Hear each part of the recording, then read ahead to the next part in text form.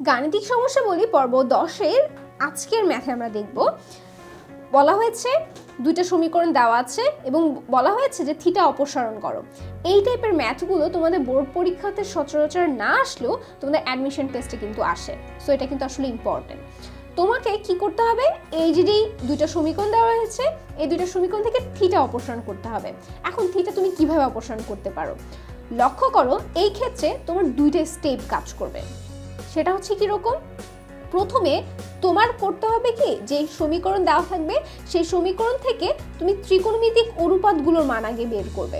ত্রিকোণমিতিক অনুপাত যেটা থাকবে, যে অনুপাতগুলো দেওয়া থাকবে, ত্রিকোণমিতিক অনুপাতগুলোর মান বের করবে এবং সেকেন্ড স্টেপে তুমি যে পরিচিত সূত্রগুলো জানো, পরিচিত যেমন ধরো sine square theta plus cos square theta is equal to হচ্ছে ওয়ান এই যে, এই টাইপের সূত্রগুলো দিয়ে তুমি ওই যে ম্যাথগুলো থাকবে সেগুলো সমাধান করে আলটিমেটলি সেগুলো থেকে থিটাকে বাদ দিয়ে দিবে। আচ্ছা সো সেটা আমরা কীভাবে করতে পারি? এইখানে আমাদেরকে দেওয়া আছে হচ্ছে এক্স ইজ ইকুয়াল টু হচ্ছে এ কস থিটা তাই না? এবং ওয়াই ইজ ইকুয়াল টু হচ্ছে বি সাইন থিটা তো এটাকে আমি এক নম্বর নাম্বার সমীকরণ দিলাম, এটাকে দিলাম হচ্ছে দুই নম্বর সমীকরণ। এখন দেখো, আমি কি বলেছিলাম? দুইটা স্টেপ একটা হচ্ছে ত্রিকোণমিতিক অনুপাতের মান আগে বের করা। তো এক নং সমীকরণ থেকে আমি যদি ত্রিকোণমিতিক অনুপাতের মানটা বের করতে চাই, আমি কি লিখতে পারি? এক নং সমীকরণে পাচ্ছি এক্স ইজ ইকুয়াল টু হচ্ছে এ কস থিটা তো ত্রিকোণমিতিক অনুপাত এখানে কি আছে? কস থিটা তো কস থিটার মানটা যদি আমি বের করতে চাই, কি লিখতে পারি? কস থিটাকে ফ্রি করে দিব।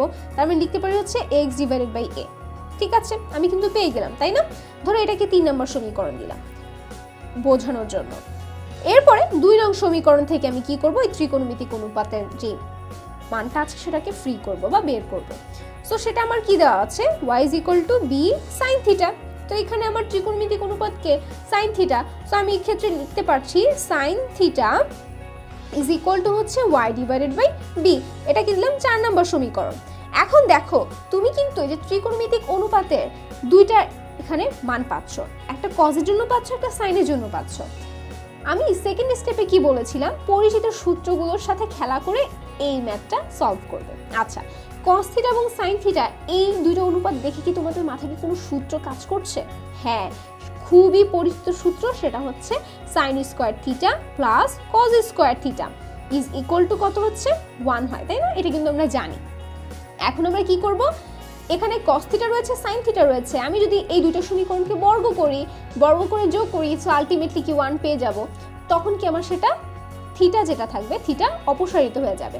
তো সেইটা যদি করি, লিখতে পারি, তিন নম্বর সমীকরণকে আমি বর্গ করব প্লাস হচ্ছে চার নম্বর সমীকরণকে বর্গ করে এই দুটাকে যোগ করব। সো সেটা যদি করি, তাহলে তিন রঙের ক্ষেত্রে পাচ্ছি কজ স্কোয়ার থিটা প্লাস যেহেতু বামপক্ষ বামপক্ষ এক জায়গায় হবে এবং ডান পক্ষ ডান পক্ষ এক জায়গাতে হবে। আচ্ছা কজ স্কোয়ার থিটা প্লাস চার নম্বর সমীকরণ sine square theta is equal to হচ্ছে এখানে X square by A square plus হচ্ছে Y square by B square এখন দেখো, এই দুটো সমান কি আসলে? দুটাকে যদি আমি বর্গ করে যোগ করি আলটিমেটলি ওয়ান পাই। সো এই যে জিনিসটা আছে, এটাকে আমি যদি ফর্ম করে সাজিয়ে লিখি, তাহলে পাচ্ছি Y square by B square is equal to এই যে সূত্র, আমি জানি সেটা কত? ওয়ান এখন দেখো, এই যে আলটিমেটলি যে সমীকরণটা আমি পেলাম, এখানে কি কোনো থিটা রয়েছে? বা ত্রিকোণমিতিক অনুপাত কিছু রয়েছে? নেই কিন্তু। তাহলে এটাই হয়েছে কি আমার? থিটা অপসারিত একটা সমীকরণ।